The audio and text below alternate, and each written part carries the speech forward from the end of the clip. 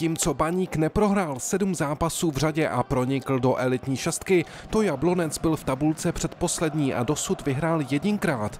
Domácí začali z ostra a v 15. minutě tvrdě z otočky vypálil David Buchta. Hosty poprvé a rozhodně ne naposled podržel Hanuš.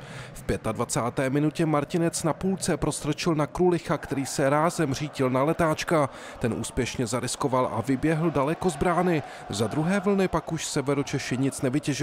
Brzy na to se zaskvěl Hanuš, který vyškrábl pojezdného bombu nad břevno.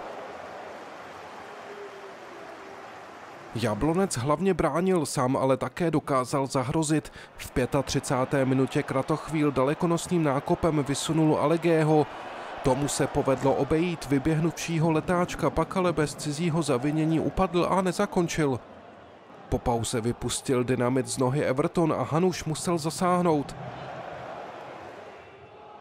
V 51. minutě právě brazilský šikula Everton obral housku a posunul na tanka. Nigériec se ale pod tlakem dvou obránců zachoval možná trochu zbrkle a výrazně minul.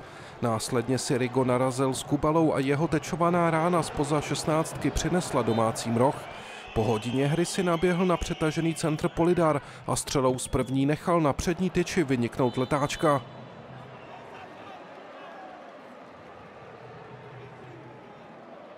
V zápětí do odraženého balonu práskl k pozo a svou jedovkou trefil Hanuše. V 69. minutě měl obří tutovku Dominik Pleštil poté, co unikal sám na letáčka, toho ale při svém nájezdu nepřekonal. Na hřišti to jiskřilo, ležící Everton na housku. Tady sudí Klíma klidně mohl tasit červenou kartu. Nakonec Brazilec se dostal jenom žlutou, stejně jako jeho rival. Ve 84. minutě přišel šok pro domácí. Houskův pase nešťastně tečoval bránící liška k Janu Chramostovi a ten zblízka doťukl za letáčka 1-0 pro Jablonec.